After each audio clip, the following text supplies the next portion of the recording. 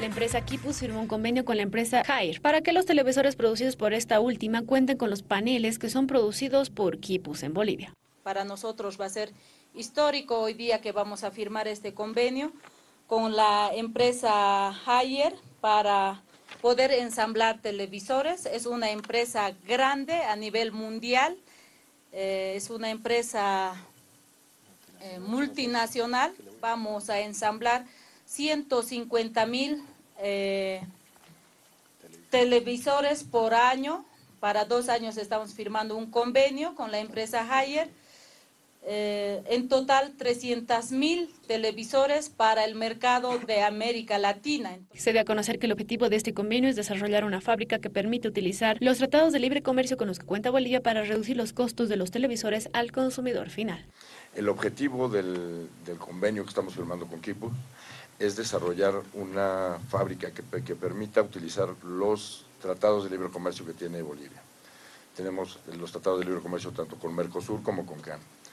Nosotros tenemos presencia en México, Centroamérica, parte de Sudamérica y iniciamos operaciones en Brasil el año pasado.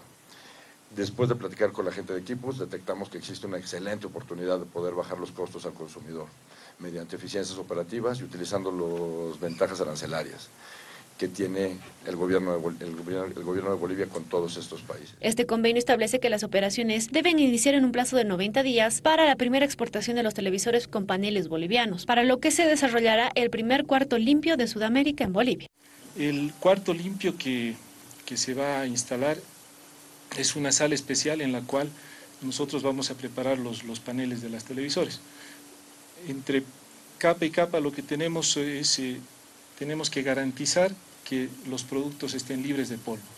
Entonces un cuarto limpio lo que hace es eso, tiene todas las condiciones las cuales eh, inhiben y controlan el tema de la generación de polvo para que, garantizar que los equipos salgan con toda la calidad que se requiere.